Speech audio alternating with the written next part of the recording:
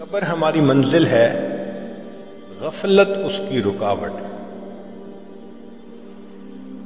गफलत कहते हैं कब्र याद ना होना। शरीयत ने कहा कि जो शख्स मौत को ज़्यादा याद करे, वो ज़्यादा समझदार।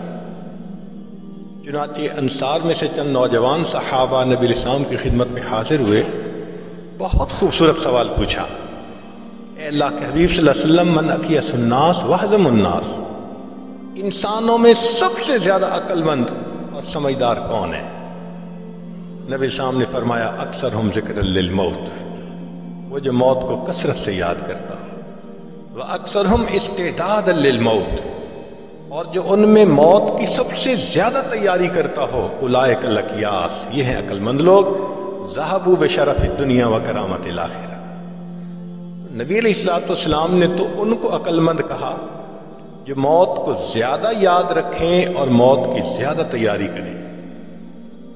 न मौत याद हो, न मौत की तैयारी याद हो तो वो तो फिर निगाह नबूवत में बेवकूफ़ इंसान है। तो आज सोचें, हम अक्लमंद हैं या बेवकूफ़ हैं? नबी साहब ने बेवकूफ़ किसको कहा? हदीस मुबारक में है दुनिया दार मल्ला दार लहू। मल्ला अकल लिसान नबूत से निकले हुए अल्फाज हैं कि जो दुनिया को जमा करने में लगा हुआ है, इस शख्स के अंदर अकल की रत्ती नहीं है। तो आज देखो कि हमारी ज़िंदगी किस तरह से गुजर रही है। कहीं मौत का तस्करा कर दो ना तो अजब सी बात नज़र आती है कि इसने कौन सी अनोखी बात शुरू कर दी? हालाँकि साहब का मिजाज ऐसा था कि वो वक्ता फक्तन मौत का तस्करा करते रहते थे, सुनते रहते थे। सईद उमर इबन खताब लानो ने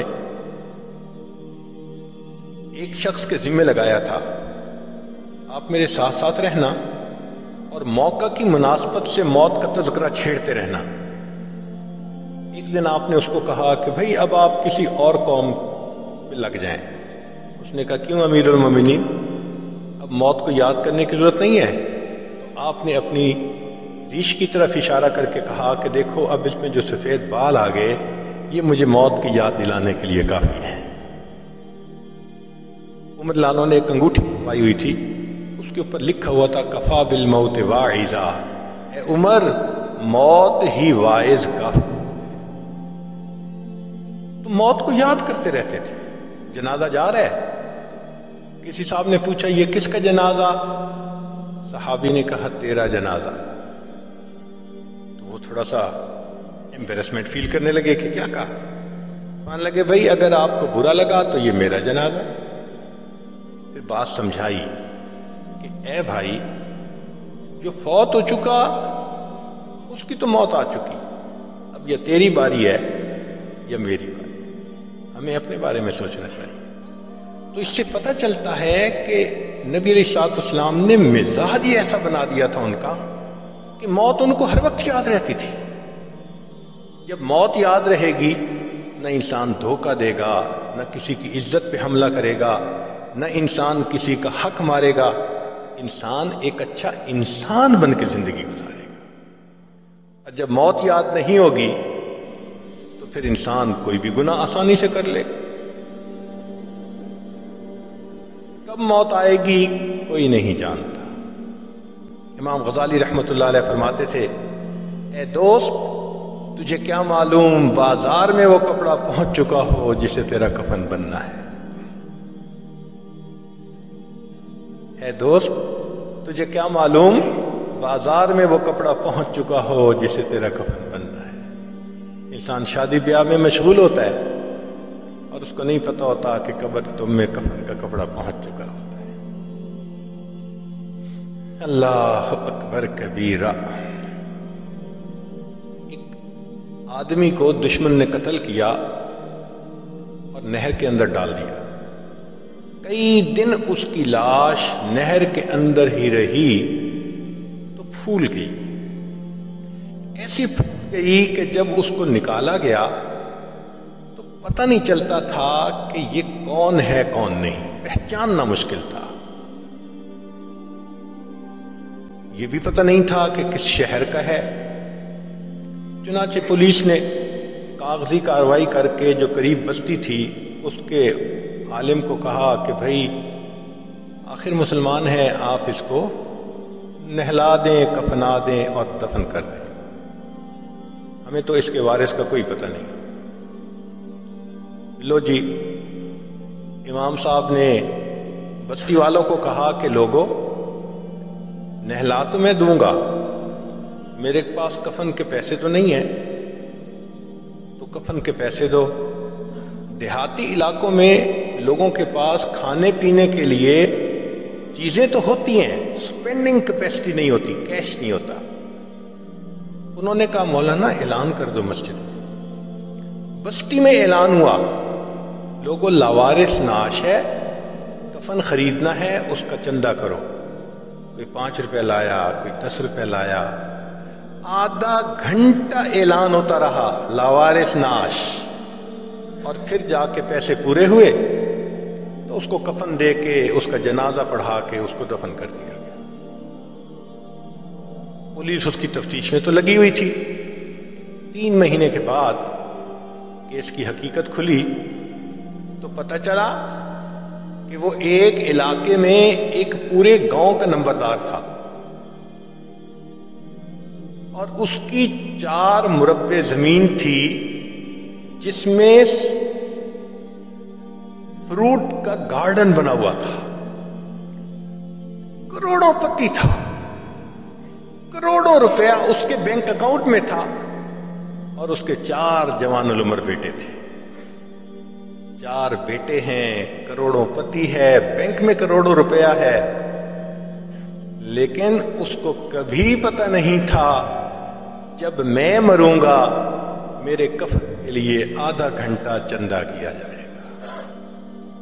वारिस मान न करी वारसा दा रब बेवारसा कर मारता दे फरमाते हैं कि वारिस तो अपने वारिसों का मान न करना। अल्लाह ताला कभी कभी बंदे को लावारिस करके मार दिया करते हैं। क्या पता किस हाल में मौत है एक शख्स पांचवी मंजिल पे कोई काम कर रहा था विंडो में पाँव जो उसका उखड़ा और कोई चीज़ टूटी तो वो नीचे सड़क पर आकर गिरा। और मेटल रोड थी। मगर अल्लाह की शान, ना हड्डी टूटी कोई फ्रैक्चर नहीं हुआ। न खून निकला। ऐसे लगता था किसी ने उसको कैच करके ज़मीन के ऊपर रख दिया। लोग बड़े हैरान। पांचवी मंजिल से गिरा। कोई इंजरी भी नहीं है। लोग उसको मुबारकबाद देने लगे। तीसरे चौथे दिन उसके दो दोस्त आए उसको मिलने के लिए और कहने लगे कि तुम्हें नई ज़िंदगी मिली है, हमें मिठाई खिलाओ। उसने कहा बैठे ये मेरे बिल्कुल घर के सामने जो ये मिठाई की दुकान है ना, स्वीट शॉप है। अभी मैं ताज़ा ताज़ा मिठाई लेके आता हूँ। वो बिठा के घर कहा कि, तुम चाय बनाओ? बीवी को कहा, मैं अभी ताज़ा मिठाई लाता हूँ। बीवी ने घर के अंदर मार्बल लगा हुआ था और उसको धोया था, साफ़ किया था और वो गीला था। खामिद अपने घर में मार्बल के फर्श पर चलता हुआ आ रहा है पाँव जो फिसला, सर के बल गिरा, उसको मौत आ गई। पांचवी मंजिल से गिरा, एक कतरा खून का नहीं निकला। फर्श से फिसला, मौत का वक्त आ चुका था। हमें क्या पता कब मौत आनी है। इसलिए नबी इस्लाम ने फरमाया, कुन फिर दुनिया का अन्न का गरीब अब अवाबिर दुनिया में ऐसे ज़िंदगी गुजारो, जैसे कोई मुसाफिर होता है या जैसे कोई परदेसी हुआ करता है? जो परदेसी होते हैं ना, उनके जहन में हर वक्त होता है, हमने वापस जाना है। हम भी यहाँ परदेसी हैं। हर वक्त ये सोच रहनी चाहिए कि एक दिन हमने वापस अपने वतन जन्नत जाना है। मगर गफलत आ जाती है। और गफलत भी कैसी? कि बंदे को मरना याद ही बड़े मियाँ थे, पचासी साल उम्र थी। एक मरतबा इस आजिज ने उनसे बात की कि अब तो हमारी रिटायरमेंट की उम्र है। मुझे भी चाहिए कि मैं अल्लाह अल्लाह करूँ, नेकी करूँ, आप भी अल्लाह अल्लाह करें। तो बात सुन के वो बड़े मियाँ ने अपने घुटने को पकड़ा। कहने लगे, पीर साहब, दुआ करो, ये घुटने की दर्द ठीक हो जाए ना, फिर मैं नमाज़ शुरू कर दूँगा। जो पचासी साल की उम्र में घुटने के दर्द खत्म होने का मुंतजर हो कि फिर नमाज़ शुरू करूँगा। ये धोखा नहीं तो क्या है? अरफात के मैदान में वकूफ का वक्त है। लोग दुआएँ मांगते हैं, कई तो लंबी मांगते हैं और कई हम जैसे कम हिम्मत थोड़ी सी दुआ मांग के थक जाते हैं। तो हमने देखा एक बड़े मियाँ दो नौजवानों के साथ हँसी मज़ाक की बातें कर रहे थे तो हैरत हुई, अल्लाह, वकूफ का वक्त है, और इस वक्त में बड़े मियाँ हँसी मज़ाक की बातें तो मेरा दिल चाहा कि मैं इनको थोड़ा याद दहानी करवाऊं। और जब सुना तो माशाल्लाह वो नौजवानों से शादी की बातें कर रहे थे। टॉपिक भी ये, और वकूफ अराफात का वक्त। तो मैंने पूछा, बड़े मियाँ, क्या हाल है? कहने लगे, जो गुजर जाए, वाह वाह है। जो गुजर जाए, वाह वाह है। हालाँकि जो गुजर रही थी, वो तो आह आह थी। तो पूछा, आपकी उम्र कितनी होगी? कहते हैं वैसे तो बहत्तर साल उम्र हो गई, लेकिन दिल मेरा सताइस से ऊपर नहीं गया।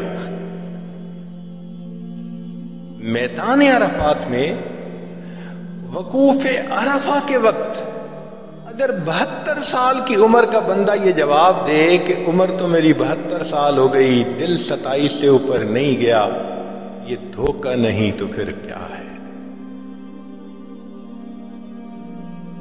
तो कबर हमारी मंजिल है, मगर गफलत उसका धोखा है, उसकी रुकावट है। नतीजा क्या होता है कि हम हर काम अपना ठीक करने के आदि होते हैं। दफ्तर का काम बिज़नेस का काम, घर का काम, अगर कोई रह जाता है तो वो आखिरत का काम रह जाता है। नमाज़ कदा हो गई, फजर में आँख नहीं खुलती, जरा देर से सोते हैं, आज दावत पे चले गए, इसलिए फजर नहीं हो सकी। इन चीज़ों में लग के फजर नमाज़ कजा हो जाना ये तो बहुत बड़ी अलॉर्मिंग कंडीशन है।